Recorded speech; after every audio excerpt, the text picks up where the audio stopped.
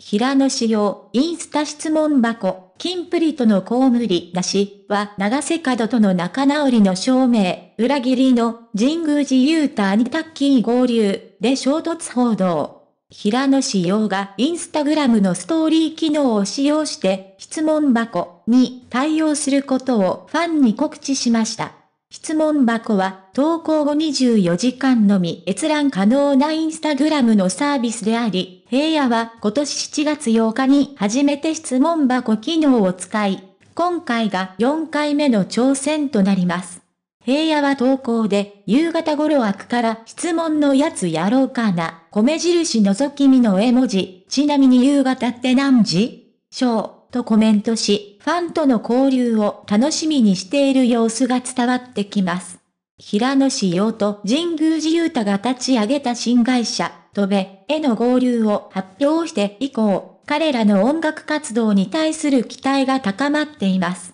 特に、インスタグラムの質問箱を通じてファンとの交流を行うことで、平野志陽とファンとの絆をさらに深める様子が伺えます。しかし、長瀬角は一時期平野仕様との関係が悪化していたとの報道もありました。平野が、戸部に合流することについて長瀬は聞かされておらず、裏切られたような気持ちに落胆していたとの情報が女性自身に掲載されていたようです。記事によると、長瀬角と平野志陽は直接連絡を取り合い、話し合ったことでお互いに納得し、仲直りしたとのことです。このような和解の報道により、ファンたちも安心して新たなスタートを迎えられることでしょう。さらに、戸部の合流については、一部のファンの間で対立が生じているようです。一部のファンは新しいキンプリのスタートを応援しており、新生キンプリに合わせの指摘もリプライ欄に見られるようです。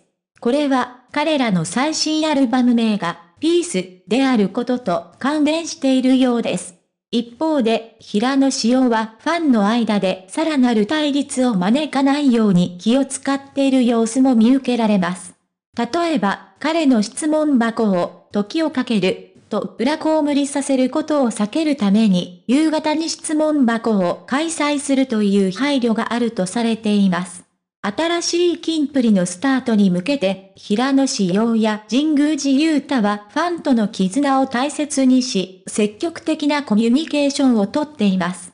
これからも質問箱を通じてファンとの交流を楽しむ姿勢を見せることでしょう。キンプリのメンバー間での連帯感が強まる中、新しいスタートに向けてファンたちも彼らを温かくサポートしていくことでしょう。ファンとの絆を大切にし、これからもキンプリのメンバーたちは新たな挑戦を続けていくことに期待が高まります。